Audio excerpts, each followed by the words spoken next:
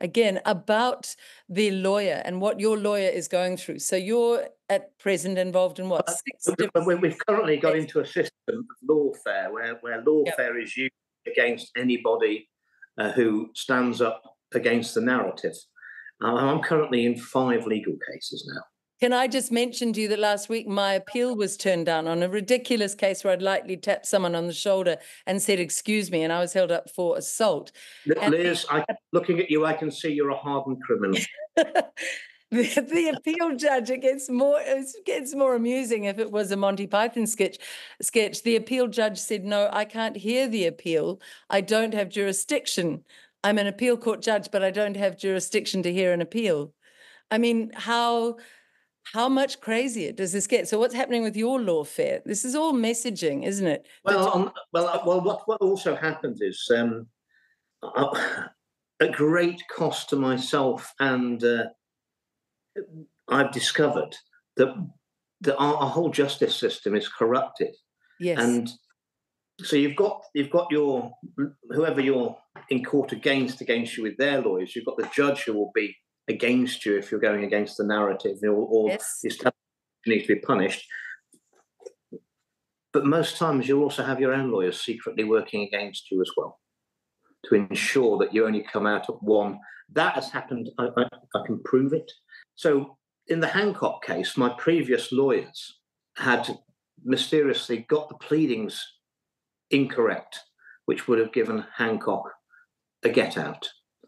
I left those that legal firm. They didn't think that I'd ever be able to get another lawyer, and not if I did get another lawyer, it would be another one who was in the club who would not, shall we say, carrying out best endeavours for me.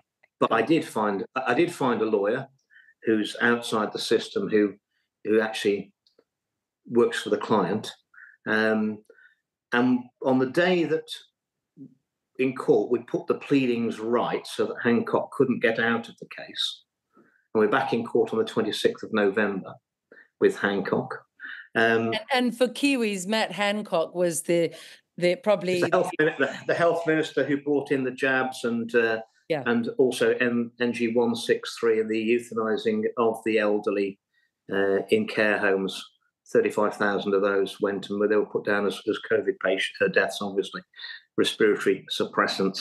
Um, well, on that day, I uh, it was um, in in the spring. I had another parliamentary standards investigation announced into me, and three days later, my barrister had a, a bar standards council investigation put into him. Well, my barrister is a guy called Chris Newman, and he works out of his flat in London.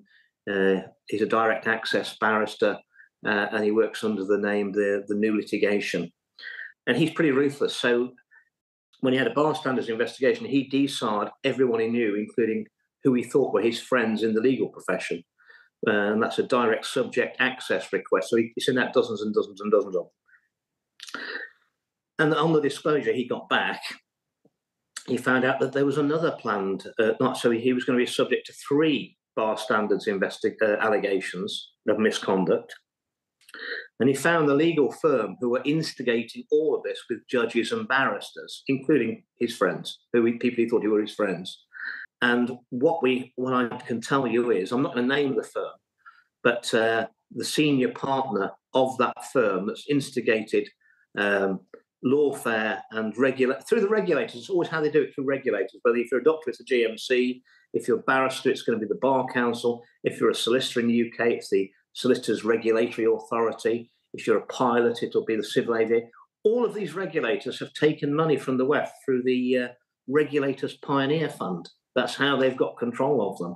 And of course, they use them to punish people who go against the narrative or defend people uh, in the case of barristers and solicitors who go against the narrative.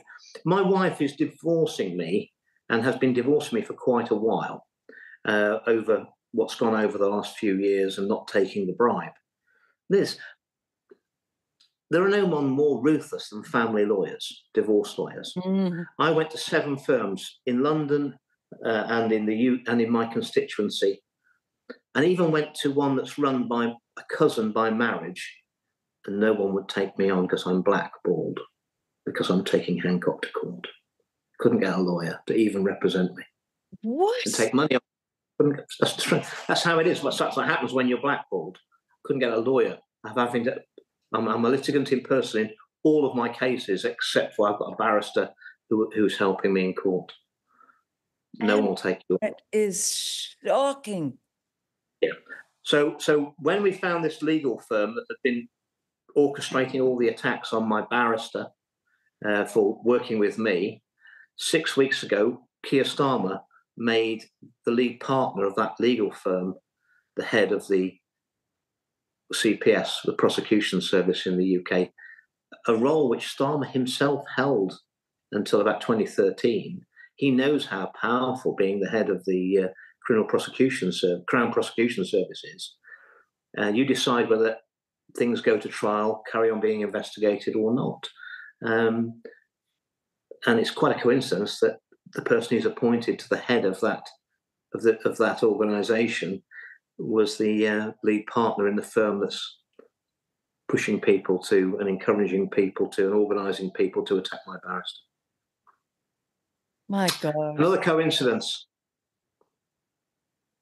the level of corruption is just extraordinary. When you think that the arm of law was meant to be this honorable arm that would hold the politicians yeah. to account and expose those who are corrupt and now they and here in New Zealand certainly have given into corruption. And what you said about lawyers Andrew what what is that? Just they're paid off as well? More more money going out to them? Just don't well, do a very good job for him or her just let her let her suffer. Well, I think in, suffer.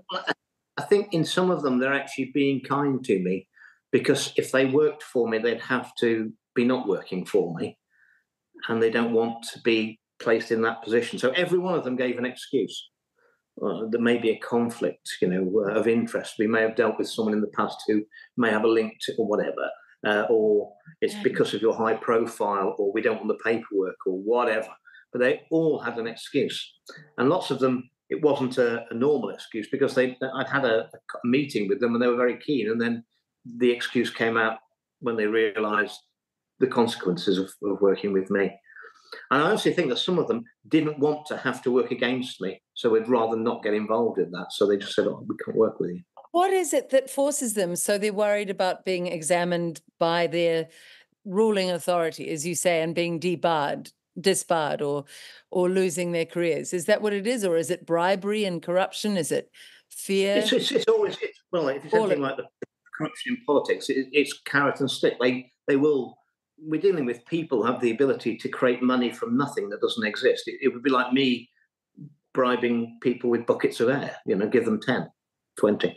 So I mean, they they they've got they've got unlimited resources. They always try the carrot first. They tried to bribe me. Uh, and then when you don't take the bribe, then they they offer you the stick. Well, they use the stick on you, and that's they don't want that. They don't want that. Most people don't want it. Well, can we put a call out right now to anybody in the UK who knows any decent family lawyer? We need somebody excellent for Andrew right now. Could could we have that? Could we have that person contact Andrew or, or liz.gunn at freenz.org? But it is depressing to think of the betrayal of their legal profession and the betrayal of the well, judicial. Even the barristers, Liz, even the barristers, Liz, they, they swear allegiance not to their clients and to, to uphold the law, but to the to the bar council. And yeah. So what we need, what we need is a whole new system. And very much MPs, we don't swear allegiance to the people, do we? No. We, we swear, allegiance, swear allegiance to the crown. We really should be. The, the, the crown should be swearing allegiance to the people, and we should be swearing allegiance to the people also. So, what's your feeling being in the legal system? Is it? Do you feel now, looking back, what a waste of time? Or is it still something that you think you can wrestle into some kind of justice? What's your feeling? Well, um, lawfare is is is deployed it's against real. people. Mm. Uh, yeah, and and and they can Look make. Trump. Look at Trump. They can, they, can, they can make the process as painful and as drawn out as they want to. There's always an excuse for delays and more cost, and uh, it, it eats up your time, your resources, and your money. It keeps you occupied. And, and when you discover that that most often, if it's a contentious case, your own lawyers will not be working for you. They're actually working against you. They'll put a bit of a show on. I mean, that's how crooked the whole system is. But is, is any more of a pantomime than the than the left and right of politics, the Punch and Judy show we see in in our parliaments? It's exactly the same, isn't it? But just in a different in a different um, setting. Exactly the same principle. That's how it's been corrupted. Before the COVID response rollout, Andrew, I had no idea how many humans would be corrupt. How many yeah. are willing to be corrupted and not thinking on their, I don't know, their deathbeds one day when they look at their children and their children say, What did you do to stop this tyranny? And they'll have to go, Well, I accepted just a whole lot of money so I could have a bigger house and a faster car. I mean, does it's how how many corrupt people you said to me before we um, came to air a few interviews ago, you talked about your sense that you in politics were surrounded by many traitors that you didn't realize. Half, more, I've uncovered that half of the people who said they were helping me for the last two years were actually working against me. They're working for the WEF. And the problem is, Liz, again, we come back to the fact that they, they these the people have the ability to create money from nothing because it costs them nothing. Money has no value to them ultimately. Well, the problem is that most people have got a price and they can pay that price. And uh, I'm down to the point now that the only people who are any good to me, your price has got to be your life, because hmm. otherwise you will be bought. Absolutely. How do you how do you sort that wheat from the chaff? There's so much chaff. There's so much. Well, so they're, they're pretty. The, the thing is, they're pretty desperate. They've got pretty desperate over the last twelve months, and and they've had to show themselves for what they really are. And when the when the chips are down, um, they show themselves. Mm. Um, and you've just got to distance yourself from these people. You can sell; they can sell their souls to the devil anytime they want to, but they they're never going to be able to afford to buy it back. You're never going to get it back. That's gone.